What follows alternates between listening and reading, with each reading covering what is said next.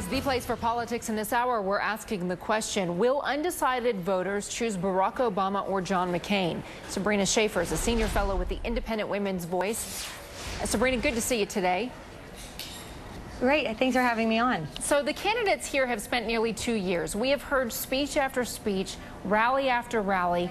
At this point, is there anything left to find out that could change the minds of undecided voters? Yeah, I know I'm going to be going against the tide when I say this, but I say that yes, there is something that can still change their minds and that McCain still has a chance in winning those undecided voters, and I can tell you why.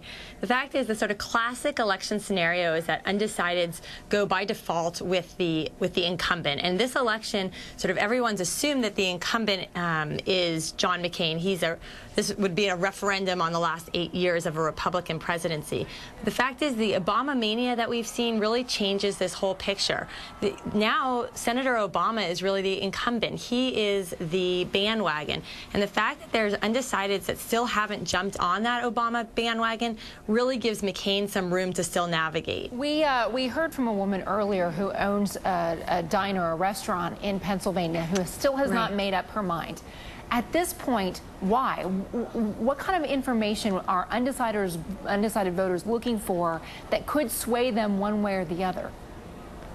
Yeah, I heard her. And, you know, the thing is, at this late in the game, sort of undecided voters, their set of considerations and their political views are really fluid. And I don't think that there's any one particular policy prescription that's going to, you know, have that particular cafe owner, for instance, go either to Obama or to Senator McCain. I think what Senator McCain really needs to do is just to continue hammering home the fact that we don't really know who Senator Obama is. And he needs to persuade the American people that he's the more trusted candidate and he would be better equipped to be commander in chief. And I think that then people are going to go with their gut instinct and, and they're going to be apt to, to side with Senator McCain. We have been uh, seeing all kinds of records broken in this political election season um, in, in, primary turnout, in young voters turning out to vote in the primaries, in early voting, in the numbers of African Americans showing up to early voting.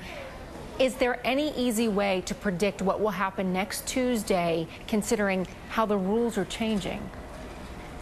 Right. If I, if I knew that, then I guess I would be um, a very wealthy woman, but I don't. I don't think there's anything that we can predict. Oh, it looks like our satellite there has uh, frozen up. And, well, you know what else to do when you have a satellite issue? Go to the satellite desk and to Tamron Hall. Tamron. Hey, Contessa, we're following